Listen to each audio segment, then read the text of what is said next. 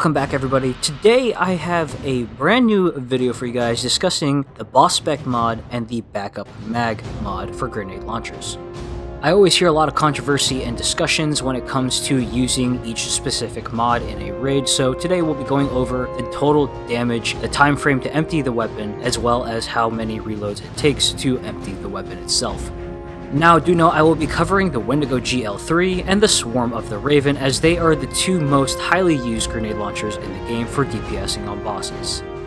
I'll also be testing both Backup Mag and the Boss Spec mods on both grenade launchers. Swarm of the Raven will be tested with the obvious Spike Grenade roll. And just for the controversial topic of only using Wendigo for the first 6 shots with Izanagi Burden, I'll be running that setup as well and testing out the DPS and comparing it with just the Swarm. This testing and comparison will be done at the very end of the video. And you guys might just be surprised with the actual end results of that testing.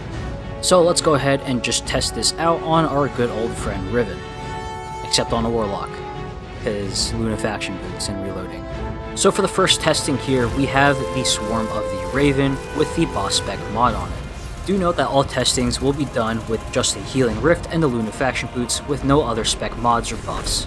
Now I ran this multiple times with each grenade launcher with each mod on it, assuring that every single shot landed directly inside of Riven's mouth, assuring that we get the best results with the best damage outputs. Now as you just saw, it took us 14 seconds and 3 reloads to empty all of our ammo from the Swarm of the Raven with the Boss Spec mod into Riven, giving us a total damage of 429,614. Now we're going to test out Swarm of the Raven with the Backup Mag mod. Now with the Backup Mag mod, it does not give us any extra ammo. Instead, it gives us 2 extra shots from the reserves and puts it into our magazine. With the Boss Spec mod, it had 5 in the chamber with 11 in the reserves.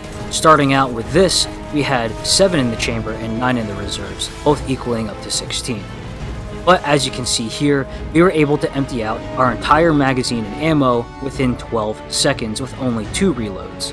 Doing this 2 seconds faster than the boss spec mod, we only did 411,490 damage. So we lost 18,000 damage, but did it 2 seconds faster due to it only having to reload twice. Now to test out the Wendigo GL3 with the boss spec mod on it. And for the Wendigo testings, I did the exact same thing as I did for the Swarm the Raven testings, making sure every single shot landed directly inside of Riven's mouth, and only using the Healing Rift with no other additional mods or buffs. So it took us a total of 14 seconds with only 2 reloads to empty out all the ammo in the Wendigo GL3, giving us a total number of damage of 371,178. So now one of the final tests with the backup mag mod on the Wendigo GL3. This mod boosts the Wendigo magazine from 6 to 7, still keeping the same amount of total ammo. With this mod on, we have 7 in the chamber and 10 in the reserves, whereas with the boss spec mod, we have 6 in the chamber and 11 in the reserves, both equaling to 17 shots. So even with the backup mag mod on the gun, it still took us 14 seconds to empty all of the ammo from the weapon. This is due to it still being 2 reloads and it being a slower rate of fire weapon, giving us a total of 334,290 damage. So for the end results of Swarm of the Raven with Boss Spec mod, it did a total damage of 429,614 damage in 14 seconds with 3 reloads. Swarm with a backup mag did a total of 411,490 damage in 12 seconds with 2 reloads. So the choice is obvious here, if you're going for more damage, you're going to want to put the boss spec mod on your gun, as each shot does more damage to the boss. However, if you're crunched on time, you're going to want to put on the backup mag, as you can fire off all shots quicker than the boss spec mod. As for the Wendigo GL3, there is no other choice other than the boss spec mod, as it does way more damage and the backup mag mod does not add any benefits to the weapon. The boss spec mod coming in at 371,178 damage in 14 seconds with 2 reloads, the backup mag mod doing a total damage of 334,290 in 14 seconds with 2 reloads. So to answer all the questions and the debates on which mod you should use on a grenade launcher, Boss Spec is hands down the better choice. And of course, Swarm of the Raven with the Spike Grenade perk is still reigning champ for damage over the Wendigo GL3. Now many of you are going to state that you only use the Wendigo GL3 paired with the Izanagi's Burden, so we're going to take a look at the total damage outputted by those two weapons. So the standard strat for using Wendigo with the Izanagi's Burden is firing the first 6 shots off, and then switching to your Izanagi's and using the weapon's perk to do insane amounts of damage with one single shot. So here, we'll be doing the same exact testing on Riven and firing our first 6 shots out of the Wendigo, and then switching over to our Izanagi's Burden, and reloading and firing off as many shots as we can, each time proccing the Honed Edge perk. Now I do also want to note that the Izanagi's Burden that I'm using has its Catalyst fully masterworked. So with that end result, we were able to do a total of 223,614 damage with the Izanagi's Burden Wendigo combination.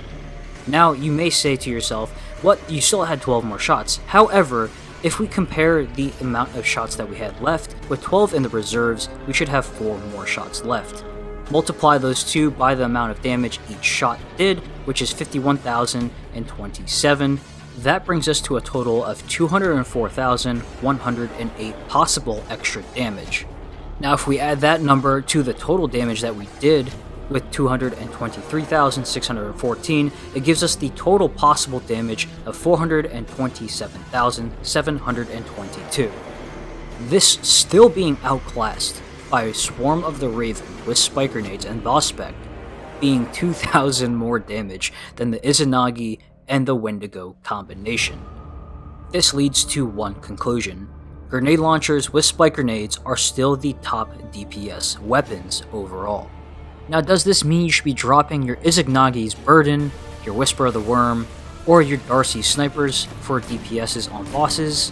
No, absolutely not. A lot of raid bosses still require you to DPS them and hit their crits from a very far distance, this making snipers still the optimal weapons to damage bosses. Any type of boss that you can get straight up into their face and doesn't move around a lot, I highly recommend using the Swarm over any of these snipers a great example being Gahlran in the Crown of Sorrows raid.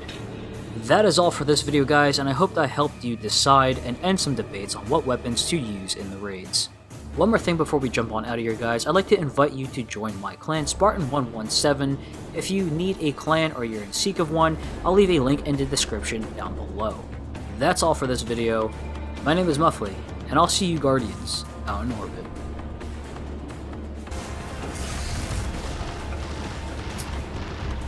God damn it. what? Fuck's sake.